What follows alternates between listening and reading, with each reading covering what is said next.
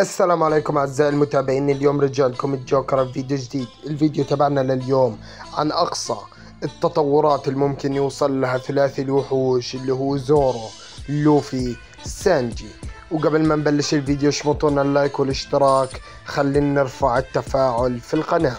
مبدئيا عندنا بالأول سانجي. أقصى سانجي الكل عارفه بعد ما أيقظ خاصية آه، سيرجيا مانا هذول المهم الهبل هذول تبعونه العيلة تبعته العيلة اللي كلها هبل. بعد ما أيقظها صارت رجله تقدر تستحمل درجات حرارة أعلى.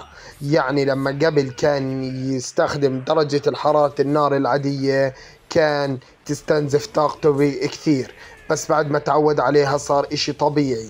بعديها وصل لدرجة النار الزرقاء. هاي واحدة من أعلى مستويات اللهب الأزرق بس مش أعلى مستوى ممكن يوصل له. سانجي سانجي واحد من أساطير الطاقم واللي حكى أنه راح يكون أكبر تهديد على حكومة العالم. أكيد ما راح يجي التهديد تبعه من نار زرقاء. لا سانجي أعلى تطور ممكن يوصل له راح يوصل للنار السوداء.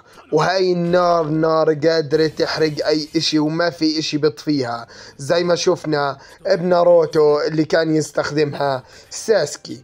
أكيد كلكم عرفتوا النار بعد ما شرحت لكم عنها.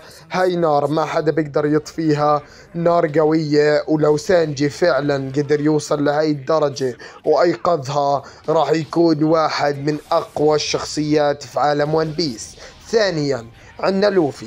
لوفي بعد ممكن يوصل لزورو بعد ما يتقن جميع أنواع الهاكي بالطريقة المتقدمة ويصير واحد من أسطورة السيافين. لازم يوصل سيفه للون الأسود عشان يكون قادر إنه يجابه ميهوك.